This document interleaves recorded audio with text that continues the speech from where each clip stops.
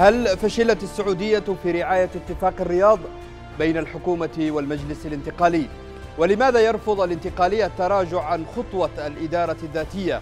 هل لديه ضوء أخضر من الرياض؟ وأين الشرعية من سقوط العاصمة الثانية هذه المرة برعاية التحالف؟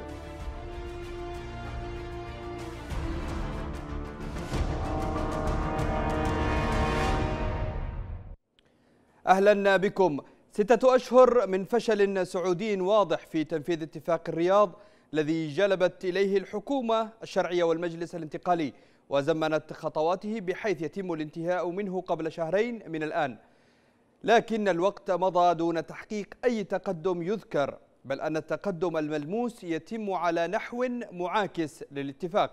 فالمجلس الانتقالي يحرك ميليشياته في سقطرى والمهرة ويعلن الإدارة الذاتية في عدن ويستولي على الأموال قبل وصولها إلى خزائن البنك المركزي فيما تظل الرياض متمسكة بموقف المتفرج حينا والداعم أحيانا أخرى حين يقتضي الأمر الذي قد يأتي على شكل تغريدات للسفير السعودي في اليمن بين فترة وأخرى. هل فشلت الرياض فعلا في دفع الأطراف اليمنية لتنفيذ الاتفاق أم أن الاتفاق كان غرضه عدم الاتفاق وعدم الوصول إلى أي نتائج لمصلحة اليمنيين.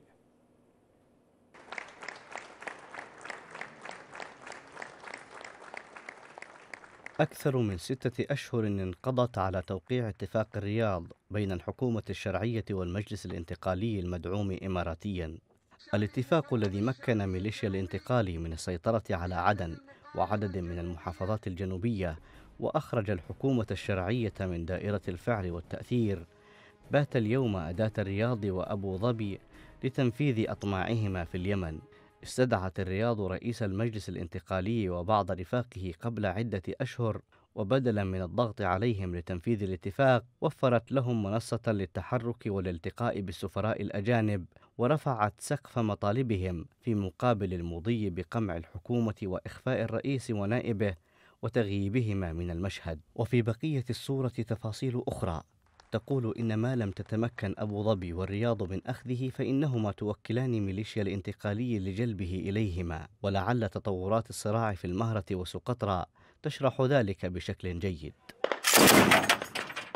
دراسة نشرها مركز أبعاد للدراسات الاستراتيجية قالت إن السعودية حاليا تقف أمام احتمالات منها المضي قدما في اتفاق مع الحوثيين مع ما يعنيه ذلك من إعلان ضمني لهزيمتها أمام ميليشيا تدعمها إيران أو دعم تفكيك اليمن بإيجاد سلطات متعددة مقابل دولة الحوثيين شمالا ووقف دعم الحكومة الشرعية. وهذا يعني أن السعودية ستتحمل مسؤولية تفكيك دولة. وتتحمل تداعيات ثقيلة محليا ودوليا أو دعم الحكومة اليمنية وحلفائها المحليين الذين تثق بهم السعودية للحفاظ على اليمن كدولة واحدة مكتملة والتفكير لاحقا بأي أهداف مختلفة والتوجه لنزع سلاح الميليشيات الثقيل في الشمال والجنوب لحماية حدودها ودعم الدولة اليمنية. وبحسب مركز أبعاد فإن السعودية قد تضطر إلى بناء شرعية موازية للشرعية الحالية وتكون مقبولة من الإمارات وإيران وحلفائهما بحيث تحافظ على وحدة اليمن ظاهريا فيما تكون السلطة الجديدة تحت تأثيرها وسيطرتها. في وقت يتم استكمال سحب البساط على الشرعية الحالية بقيادة الرئيس هادي.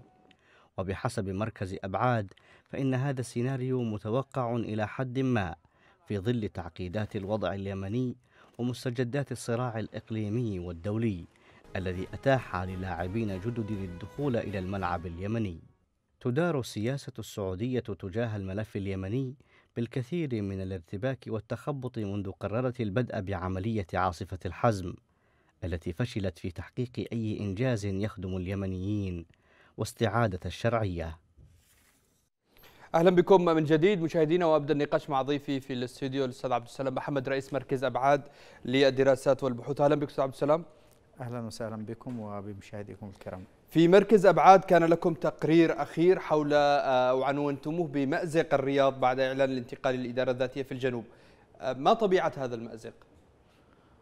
طبعا المأزق أن المملكة العربية السعودية عندما دخلت الحرب آه، في اليمن تحت إطار تحالف عربي لمناهضة الانقلاب وإنهاء الانقلاب واستعادة الشرعية ولكن كان العكس تماما أي حدث انقلاب آخر في الجنوب وهذا مأزق كبير أنها تخرج وهناك انقلابات متعددة وليس انقلاب واحد طيب الآن طبيعة المأزق فيما يخص تنفيذ الاتفاق لماذا تحمل الرياض؟ لماذا يقال أن الرياض هي في المأزق؟ الرياض هي في المأزق في القضية اليمنية بشكل عام وأكثر هي في المأزق في قضية الشرعية تفكيكها. من ناحية تفكيك الشرعية لأن الشرعية يفترض آه، بالتحالف دعمها ومنع عدم منع الانقلابات ومنع تفكيكها. في ظل الظرف الحالي طالما التمرد لا زال والانقلاب في صنعاء من قبل الحوثيين المدعومين من إيران لا زال موجودا.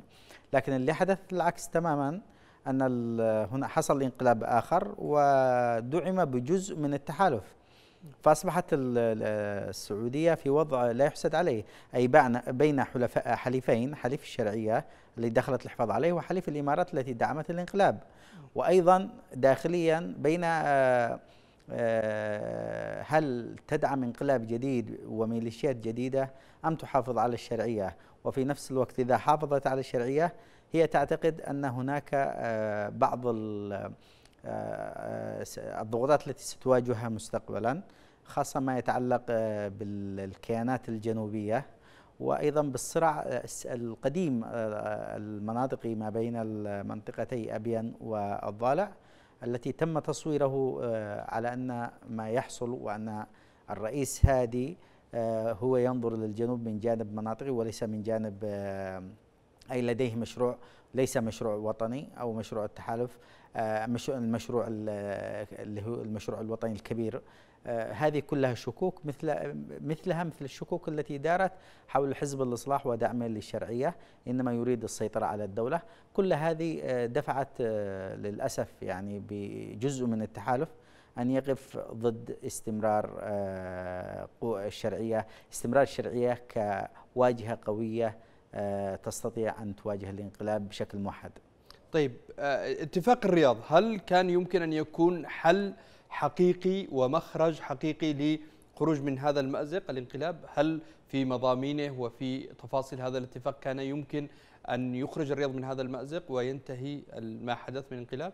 ما كان يفترض أن يحصل مثل اتفاقيات داخلية قبل إنهاء انقلاب صنعاء إطلاقا. لكن هذا الاتفاق هو آه، واضح جدا آه، له أهداف ثانوية غير الأهداف الرئيسية المعلنة وهو توحيد جبهة الشرعية.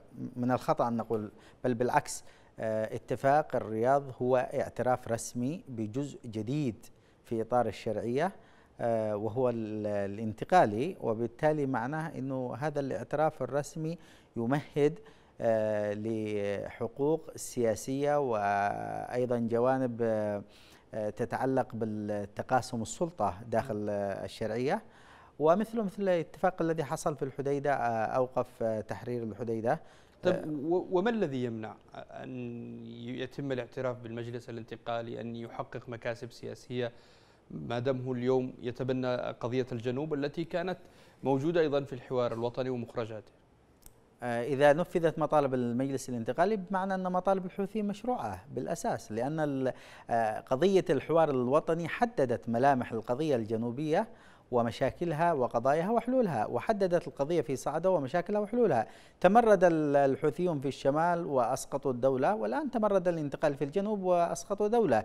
وبالتالي الانتقال لا يمثل القضية الجنوبية. هل سي هل هو يمثل القضية الجنوبية؟ هل هناك استفتاء؟ حتى نستطيع أن نقول أن الانتقالي هو يمثل الجنوب. آه، هل الانتقالي آه، يريد أو يطمح آه، ل مثلا الاتفاق حول دولة اتحادية فيدرالية أم يريد الانفصال. كل هذه تفرق. الانتقالي يعلن أهداف واضحة له استعادة دولته ودولة الجنوب في ظل رفض شعبي من داخل. هناك رفض من الحراك الجنوبي الذي تأسس في 2007 كل فصائله لا تقبل الانتقال. لأن الانتقالي تأسس بعد الحرب في 2015 وبدعم إماراتي وحتى تم اختياره اختيار مناطقي بحت.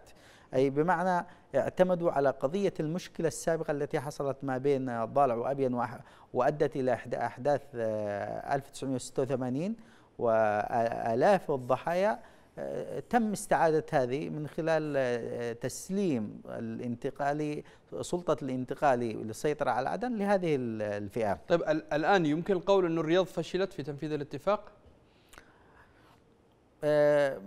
هناك أكثر يعني من احتمالات وسيناريوهات في هذا الجانب. لا نستطيع أن نقول أن الرياض فشلت. قد تكون الرياض هي تريد الفشل بالأساس في هذا الجانب حتى تخرج من الحرج أمام الشرعية.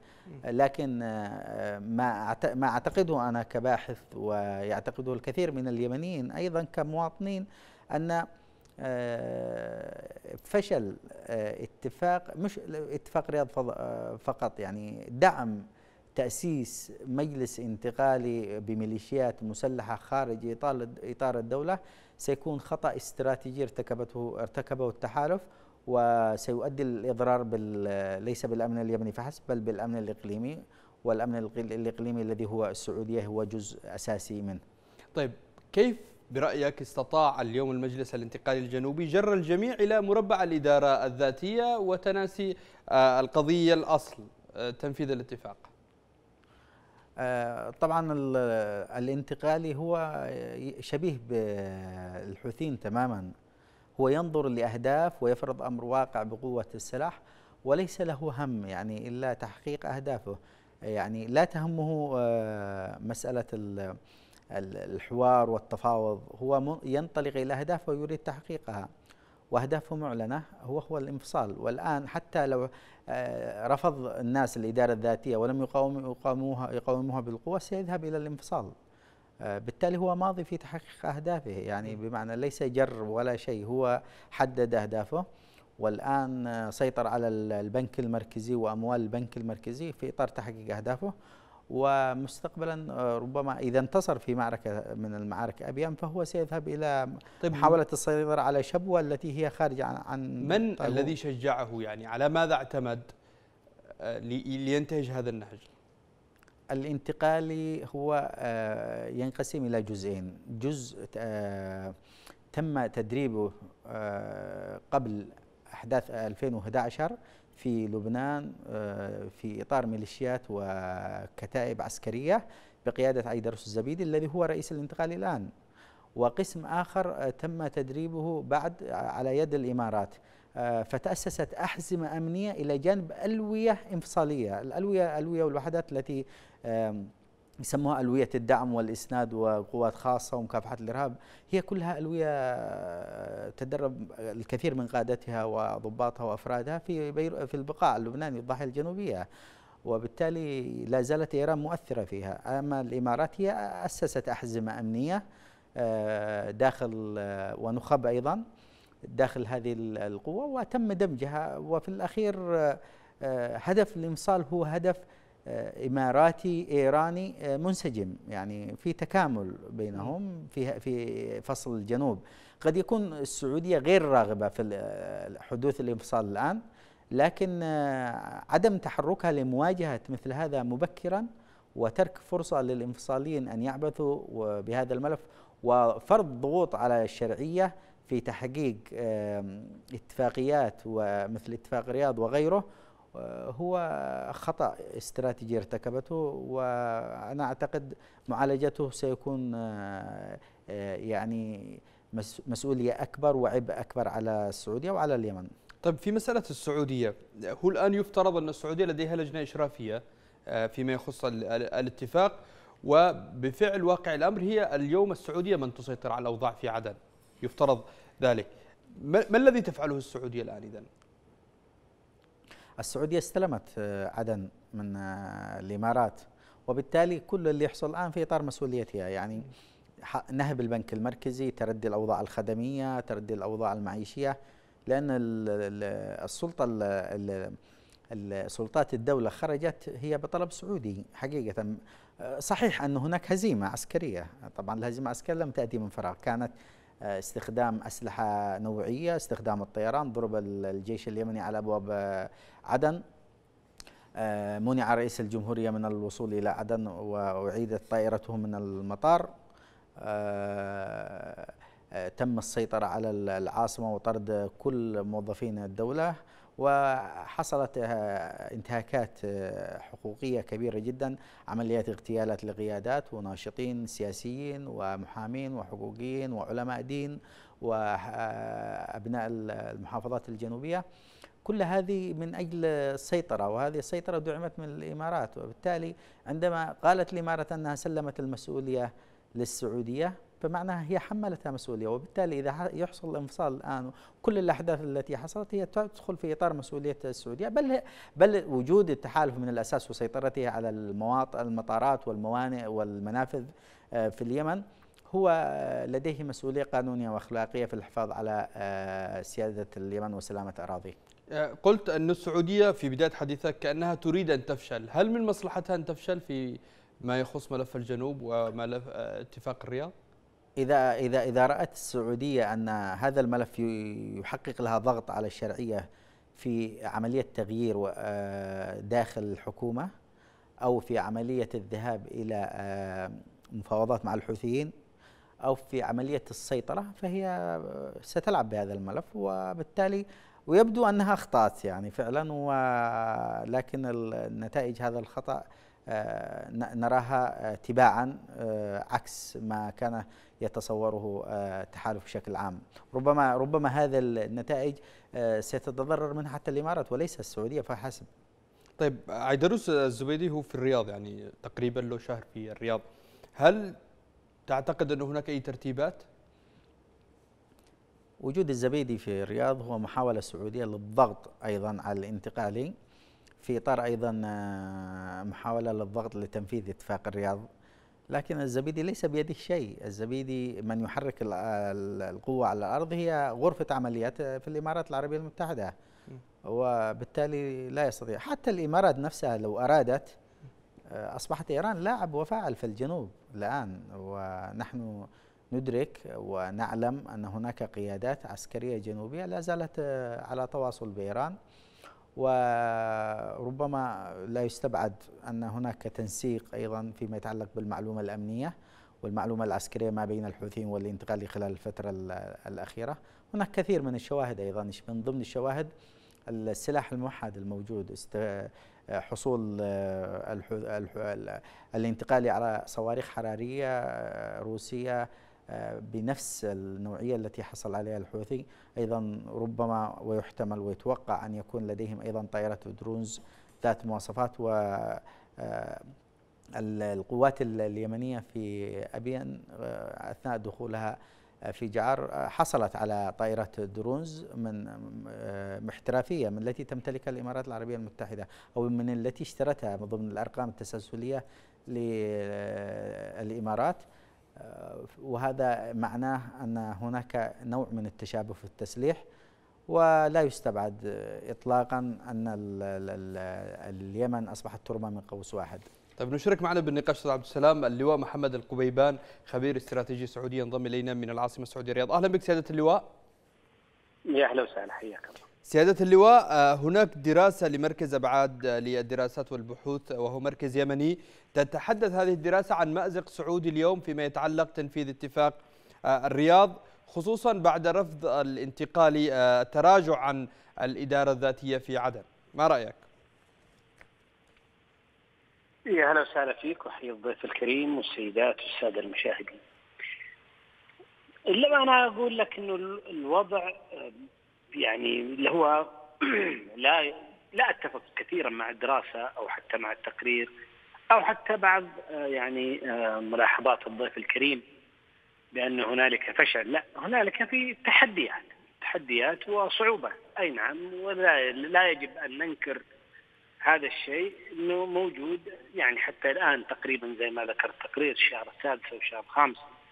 من اتفاق الرياض والآن نحن في عنق الزجاجة إما أنه يلتزم الأخوان المتفقين على ما تم إبرامه في الرياض أو إنه يعني يصبح الوضع يذهب إلى ليس القوة العسكرية وأنا أتمنى إنه لا يذهب القوة العسكرية لمواجهة الأخوان في المجلس الانتقالي لكن إذا إنه الأمر اضطرت قوات التحالف أو المملكة أنا أعتقد إنه يعني لأنه تعتبر المملكه هي الضامن الوحيد أمام المجتمع الدولي لإعادة الشرعية مع في التحالف مع الحكومة الشرعية.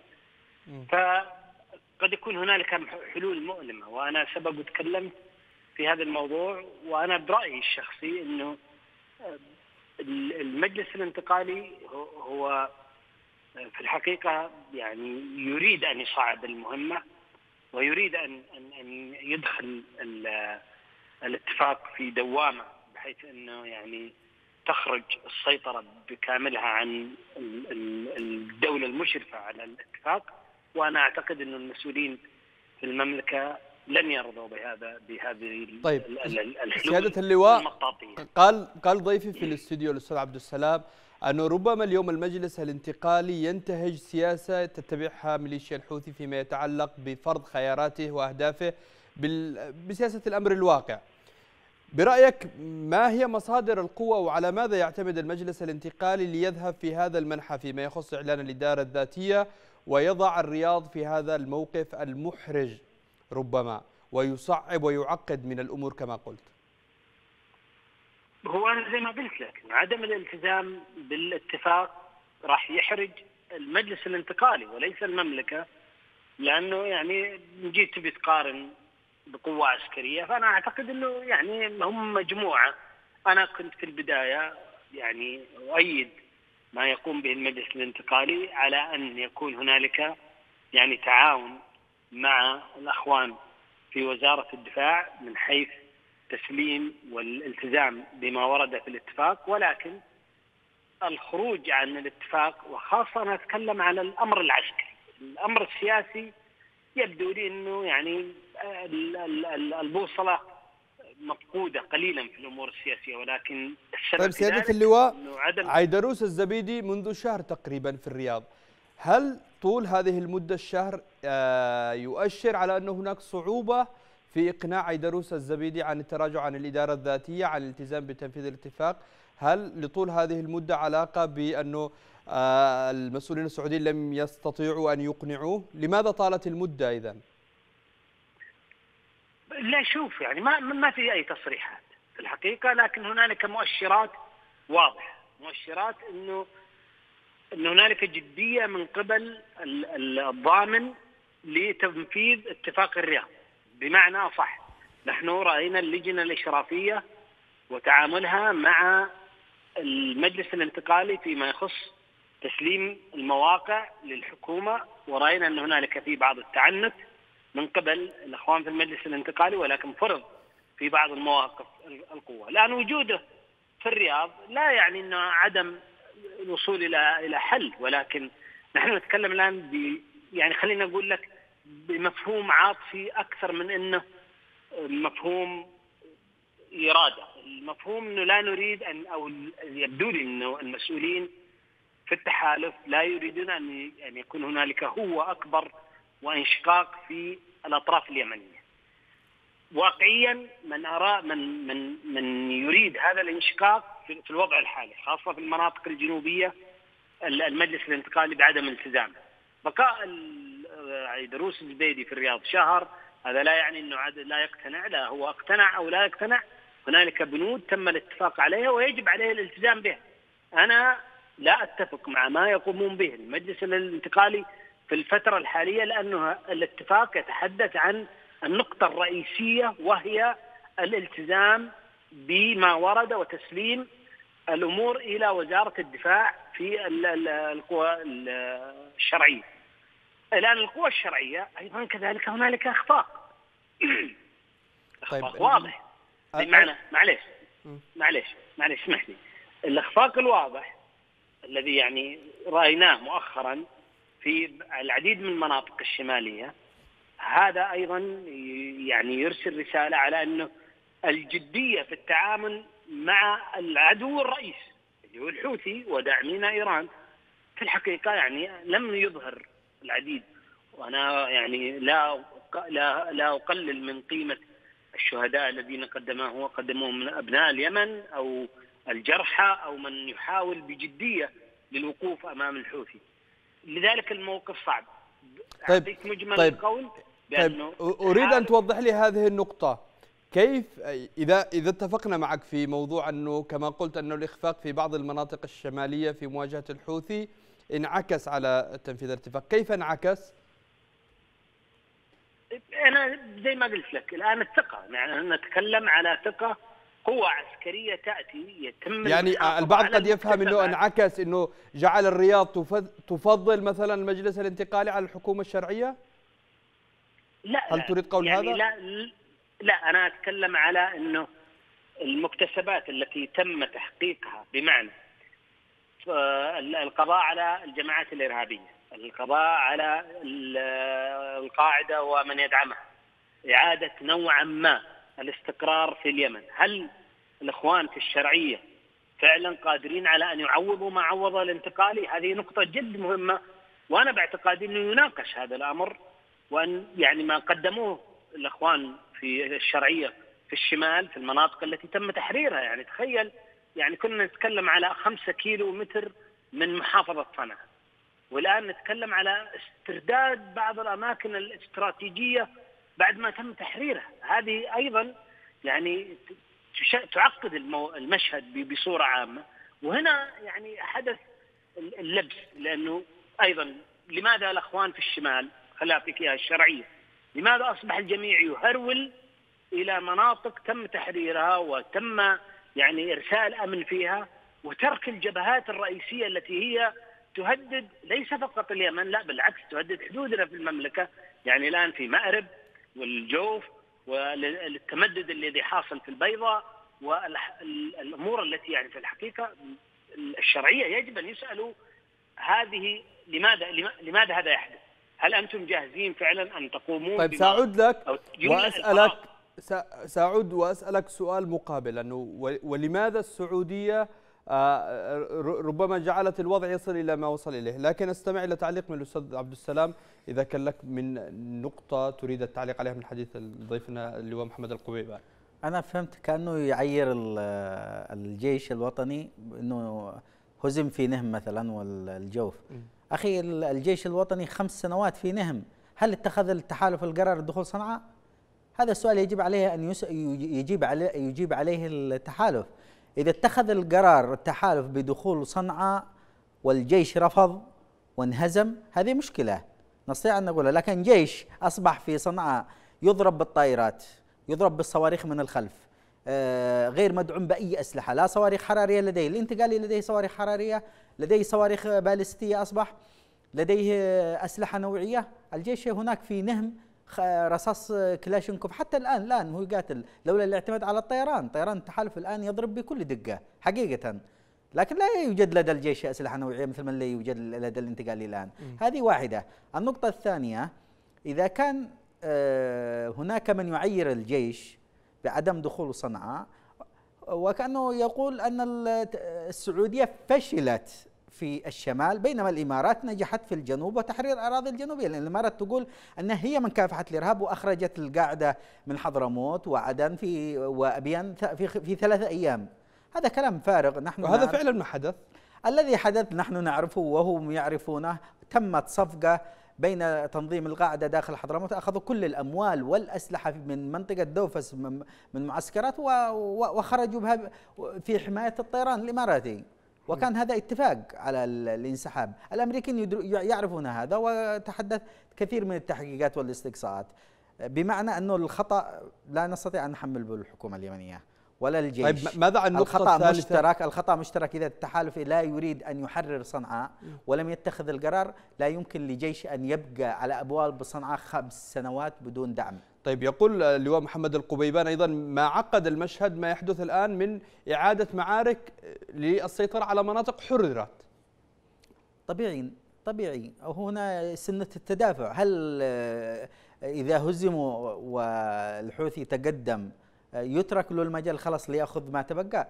الحوثي عندما نزل آه، في نهم وسيطر على نهم وذهب إلى الجوف هو كان يريد الوصول إلى حدود السعودية في العبر. ويريد الوصول إلى صافر للسيطرة على النفط في مارب.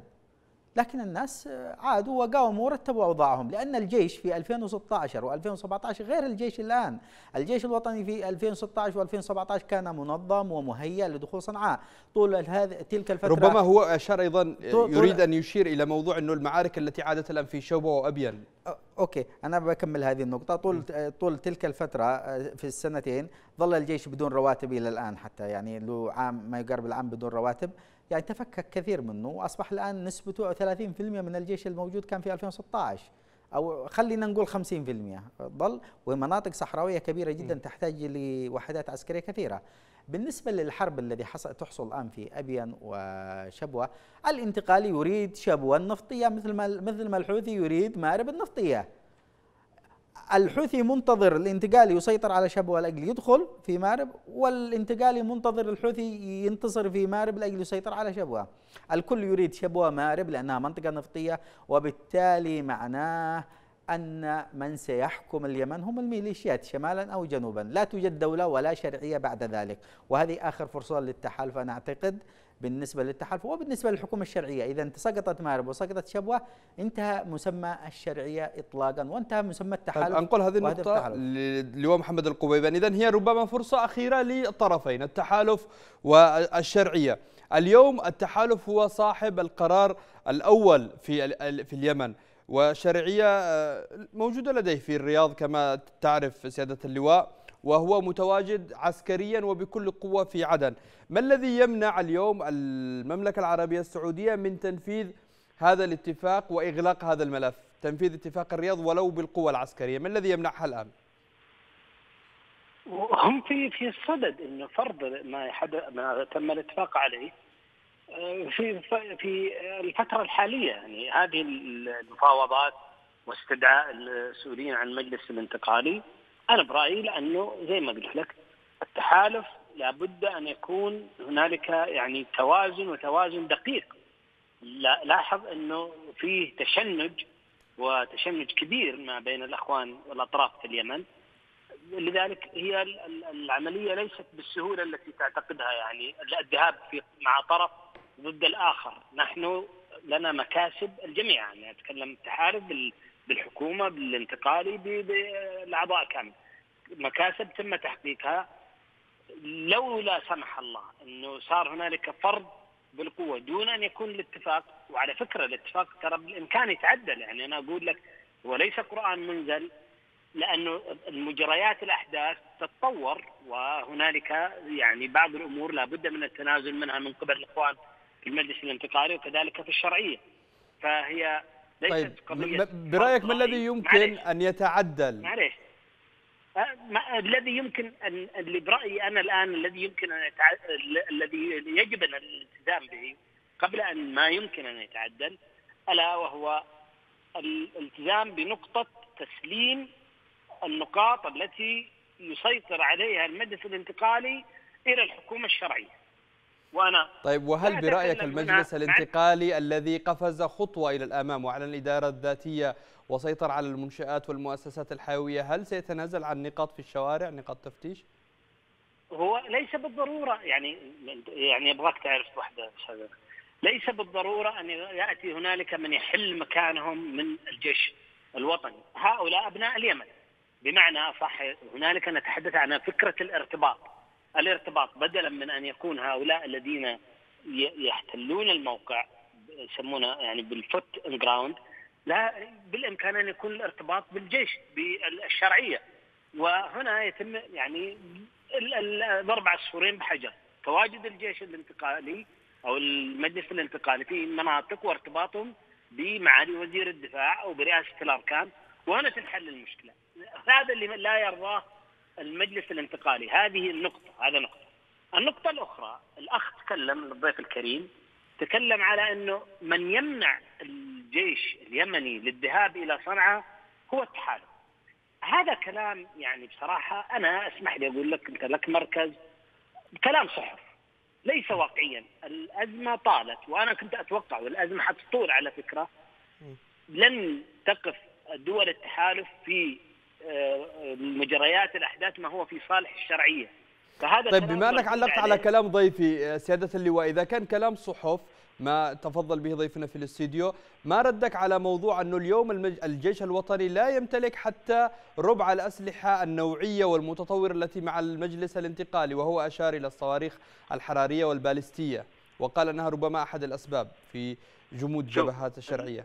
الأسلحة الآن برأيي أنه ما يقوم أو ما تقوم به القوات الجوية للتحالف بالقيام بالمهام التي هي في العمق تغني كثيرا عن هذا النوع من الأسلحة التي يتحدث عنها الأخ الضيف الكريم باللي امتلاكها للجيش الشرعي الجيش. هنالك اتفاقيات ما بين شراء السلاح مع دول وأنا سبق تكلمت في النقطة دي عدم تسليم السلاح وهذا اتفاقيات عسكرية ما بينك وما بين الدول المصنعة من يمتلك السلاح لا تستطيع تسليم سلاح ما لم يتم أخذ الموافقة وهذا شيء أعتقد إنه يعني وكيف وصل في في في نص دقيقة كيف وصل السلاح للمجلس الانتقالي وهو ليس دولة حتى الآن؟ ماذا وصل يعني إيش اللي وصل عنده؟ هل وصل عنده غير الاليات المدولبه؟ هل وصل هنالك دبابات؟ ما نشر على وسائل الإعلام المختلفة من أسلحة؟ وأنت عسكري ربما أدرى مني وأفهم بهذا الموضوع. لا لا الذي يمتلك الآن الأخوان في المجلس الانتقالي هي مجرد أسلحة يعني آه، ليست بالأسلحة الثقيلة إنما يعني هنالك أسلحة لتأمين المناطق التي تم تحريرها وإلا كانت كان الأخوان في الإمارات هم من قاموا بالطيران وهم من قاموا باستخدام الدبابات وباستخدام راجمات الصواريخ والتي يعني ساعدت في تحرير المناطق. ويجب أن نتذكر يعني إنه ترى المناطق الشمالية تختلف كليا عن المناطق الجنوبية والجميع يتذكر إنه تحرير عدن بعد ثلاث شهور من بداية الأزمة. يعني لم يأخذ وقت طويل كما هو الآن في المناطق الجبلية والتضاريس الصعبه فلما نتحدث طيب. على إنه والله لم يعطى ربما هذه محاور ومواضيع تنفع لحلقات أخرى. على العموم أشكرك جزيلا سيادة اللواء محمد القبيبان. كنت ضيفنا من الرياض الخبير الاستراتيجي السعودي. شكرا جزيلا لك. أعود لك أستاذ عبد السلام محمد. هل تعتقد أنه صبر السعودية قد ينفذ؟ آه، ما فهمته من كلام اللواء محمد القبيبان. هل يمكن الذهاب إلى أنه فرض وتنفيذ الاتفاق بالقوة؟ أو هو أشار أيضا إلى نقطة أخرى أنه قد يحدث تنازلات ومراجعات. أولا أنا أريد أعرج إلى نقطتين مهمتين. آه، أنا عندما تحدثت لم أتحدث عن أن التحالف آه، رفض تقدم الجيش. التحالف لم يتخذ قرار دخول الجيش إلى صنعاء. وأنت تعرف دخول صنعاء معناه لابد أن يتخذ القرار التحالف أكثر لأنه العمليات الجوية هي بيده وترتيبات أيضا على الأرض. ثانيا موضوع السلاح النقطة الثانية ذكر موضوع السلاح. آه، 2216 لا يفرض على على عقوبات على الحكومة في امتلاك السلاح يحق للحكومة أن تشتري السلاح. كدولة شرعية لها سلطتها القانونية.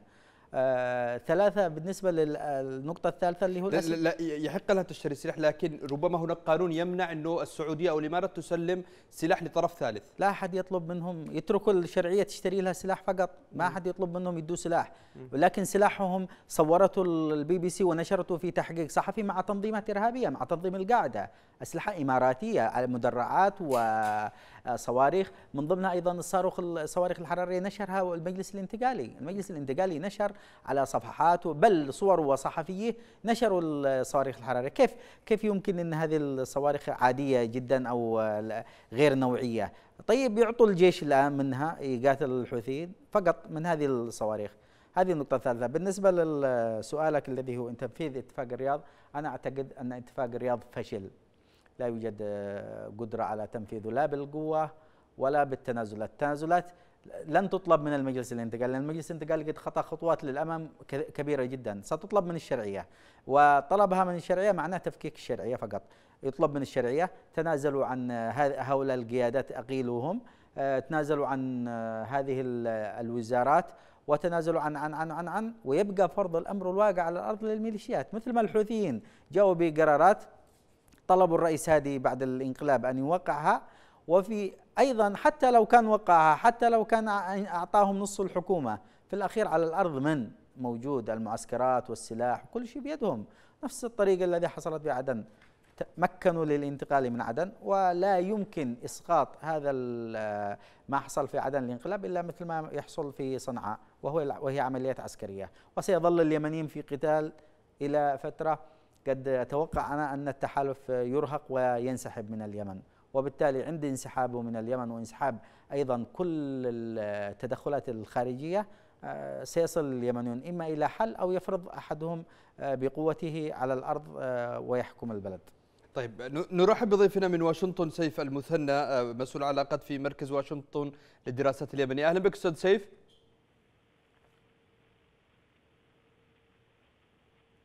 أستاذ سيف.